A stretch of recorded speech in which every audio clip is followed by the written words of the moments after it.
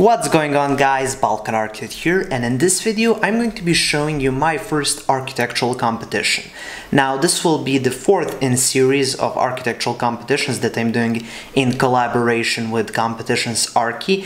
This is an amazing website where you can go and you can find current architectural competitions. So if you want to try yourself out, you want to compete, you want to do some amazing projects, head on to our competitions Archi and there you can always subscribe and then they will send you an email whenever there's a new competition out that you might want to compete in.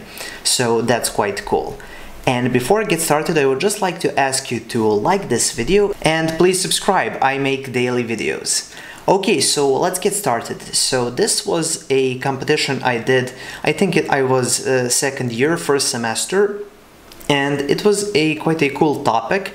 It was this village of Rajac, and this is in Serbia, and I'm from Serbia, so of course I had to do it. And it's this interesting little village. It's a village for people that do wine, that make wine, and they prepare everything and turn grapes into wine and they sell it and it's this uh, amazing famous wine that people come from all across the world here in Rajac to buy it.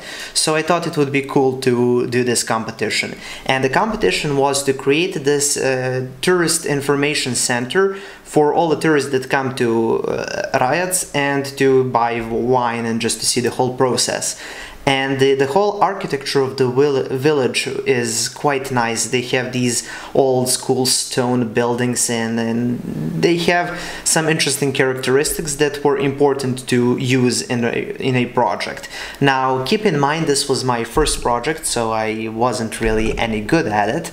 And I made a lot of rookie mistakes but I thought by showing you the, this project and showing you what mistakes I made you might not make them and I thought it would be just interesting to see what a ar architectural competition for students looks like. Okay so I'm just going to open it up here on screen and you can see it over here. So this was the first panel I made and uh, here first you can see this is the this is the village where the competitions were this this is like a site plan. Uh, so first we have this portion over here. Now this is where the main parking is, so all of the buses, if uh, a bunch of people with a bus come over, so buses can park over here and there is a public bathroom over here. Now why is there a public bathroom so far away from the whole village? I don't know. I, am guessing they had some regulation or it's an old village so they don't, don't want to ruin it by placing a bathroom in there. I don't know, but it's I think it's a bit silly. But anyway, we go on. So the road goes all the way up here and this is the placement of our tourist information center. So it was supposed to be here and this where the, the road kind of bends and goes off in the other direction and this is basically the entrance to the whole village. So you come over to this road and this is kind of the, the main square of the village and this is where all the people gather so that's the center point. So our project was to design this house over here the tourist information center so when people come over this is where they they have to pass to enter the village and they can get all of the all the information buy some souvenirs buy some wine wine taste the wine i don't know. So that's that's the point of the whole project so if we go down over here, this is kind of a uh, bigger, a little bigger site plan. And here we have, this is the, the road. And here I placed a couple of parking spots for disabled people. Now, uh, even though we have this big parking over here, this is a very steep road, so I don't know what what the the uh, disabled access is so it, it, was very bad. So that's why he decided to place these two handicap spots over here. Then we have our house over here and because the, the road kind of winds and goes up here so there's a, a height difference between this portion over here and this portion over here I decided to use that to place a house at the at the little hill so there's a little descent in the in the terrain and I liked I wanted to connect the my house with this lower portion of the road so there's a bunch of steps over here so you can get up to the house And here, as you can see, we've got some roof windows. This is the big terrace, so tourists can kind of unwind and chill over here. And because uh, this is uh, south is over here, down here, so this is always in shade, so it's a nice place to sit and just chill out.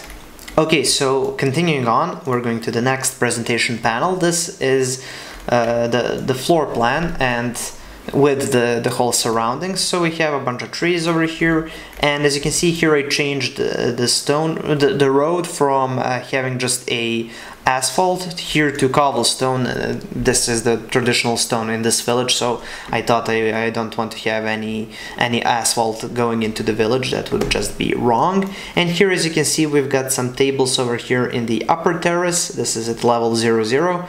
Then we've got the level minus uh, 3 meters so that's the the one below. And here we have this big table and people can test wine here and just relax. And here we have just a little upper uh, terrace that's kind of level in between. It's 1.5 meters minus 1.5 so we have 0 minus 1.5 and minus 3 so we have these three levels and I just try to play around with these different levels for these terraces for all of the visitors and here we have this bathroom now uh, the idea for the bathroom is you can access it from the outside of the building maybe it doesn't make any sense uh, but there are a lot of people that are just going to the bathroom and you don't want to have them pass through the building just like in gas stations for example you have an outside door for the bathroom so people that are just on the highway going through the gas uh, station bathroom they don't have to go through the actual restaurant and next to the cashiers and everything. So that's the idea behind that. And here you can see the section.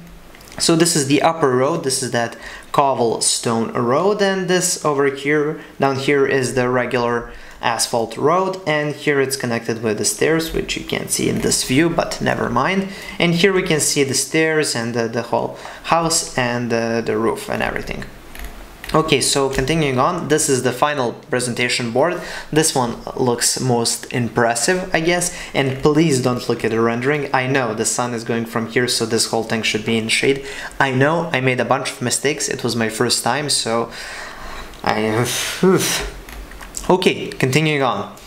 I, I, am cringing just while looking at this. Anyway, so here we've got some uh, floor plans and some sections and some elevations, so let's go through the whole building. So here, when you come in here, you can see my original idea was when you come over, you come from here, from the road, and you've got one door over here and one like main entrance over here. And here we've got just some souvenirs, stacks and whatever. And here is the cashier so you can buy your souvenirs. And then you've got this stair going down here to the bottom level. So this is the, the, down level. And here is where you can test different, uh, different wines and you can buy them and uh, this uh, lower level opens up to this terrace, the, the lowest terrace, and then there's a little stair over here to get to this upper terrace with a another big wood table for wine testing. And we've got just a bunch of little uh, tables over here. This uh, the upper portion is more of a cafe style